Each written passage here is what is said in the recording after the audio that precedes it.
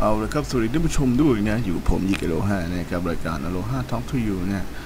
วันนี้ก็จะมาเล่าเรื่องของวอร์เรนกับเอ็ดต่อนะฮะแต่นี้จะมาเป็นเรื่องของสมาคมวิจัยด้านวิญญาณแห่งนิวอิงแลนด์นะฮะสมาคมวิจัยด้านวิญญาณแห่งนิวอิงแลนด์นะฮะก่อตั้งในปี 1952นะฮะเป้าหมายในตอนแรก เพียงแค่เขาต้องการสืบเรื่องน่ากลัวเท่านั้นนะฮะก็เหมือนพวกรายการคนอวดผีอะไรประมาณนี้นะแล้วเราปี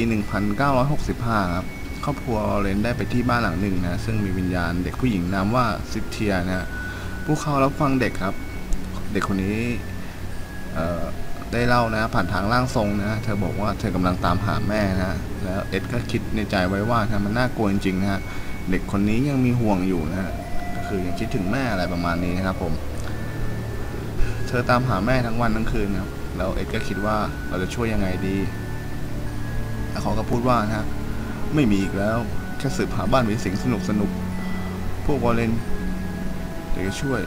เขาพูดอย่างนี้นะฮะคำถามก็คือ แล้วเราจะความรู้จากไหนไปช่วยวิญญาณล่ะ แต่ใครรู้หรือเกี่ยวกับเรื่องพวกนี้บาทหลวงเหรอพระสงฆ์เหรอ เอ็ดเริ่มพูดคุยกับคน เอ่อ เอ็ดขอโทษนะ เอ็ดเริ่มพูดกับพระที่มีศรัทธาแรงกล้านะฮะ แล้วถามว่า ถามพวกเขาว่านะ ถ้ามีคนมาบอกว่าบ้านหลังนี้มีผี คุณจะทำอย่างไร บางท่านก็พูดว่านะ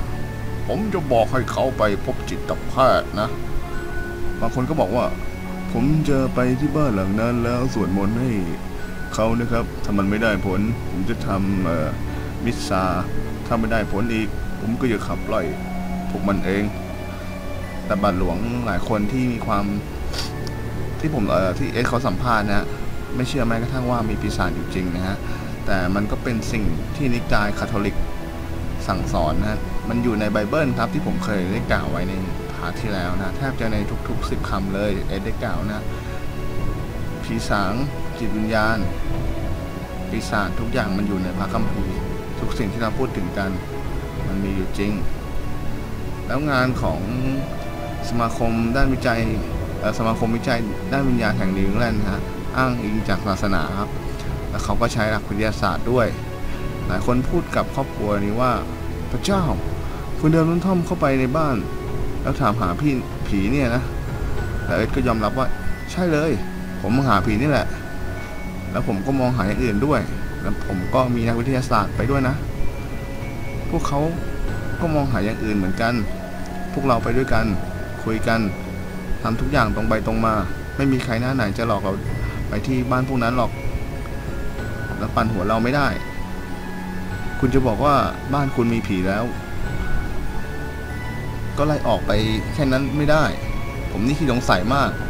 ผมต้องเห็นมันได้ยินเสียงมันสัมผัสถึงมัน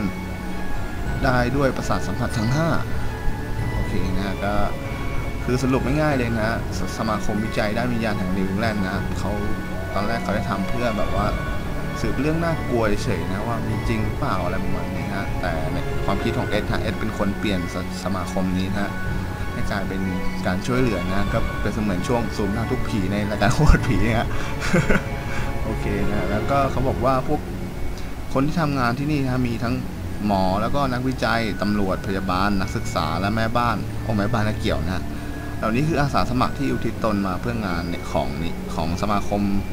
จัยด้านวิญญาณแห่งนิวอิงแลนด์นะฮะ พวกเขาไม่เรียกร้องค่าจ้าง ขอเพียงแค่ค่าจ่ายค่าใช้จ่ายที่ครอบคลุมในงานเท่านั้นนะฮะ ก็เป็น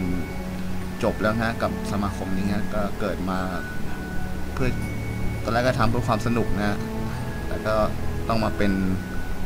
สมาคมที่ช่วยเหลือวิญญาณที่ไร้ที่พึ่งนะฮะก็ถ้ามีคุณเลียวอีกคนนึงก็คงจะดีที่เนี่ย ผมว่า แต่มันเป็นประเทศอื่นไง โอเคนะก็เป็นเรื่องสั้นของสมาคมวิจัย ด้านวิญญาณแห่งนิวอิงแลนด์นะถ้าไม่สนุกก็ขออภัยด้วยกันนะฮะโอเค เดี๋ยวผมจะหาเรื่องอื่นมาแทรกเข้าบ้างนะน่าจะจบแล้วนะเรื่องราวของวอลเลนกับเอ็ดนะเราก็รู้แล้วนะว่า พวกเขามาทำงานแบบนี้ได้อย่างไรนะฮะมาช่วยเหลือคนได้อย่างไร โอเค ถ้าใครมีคอมเมนต์อยากจะถามอะไรก็คอมเมนต์ได้เลยนะฮะถ้าผมตอบได้ผมก็จะตอบนะฮะ โอเคบายบาย ไว้เจอกันนะ ขอบคุณที่รับชมครับ อย่าลืมกด subscribe ด้วยนะครับ ปุ่มสีแดงนี่เอง โอเคบายบาย ไว้เจอกัน ขอบคุณครับ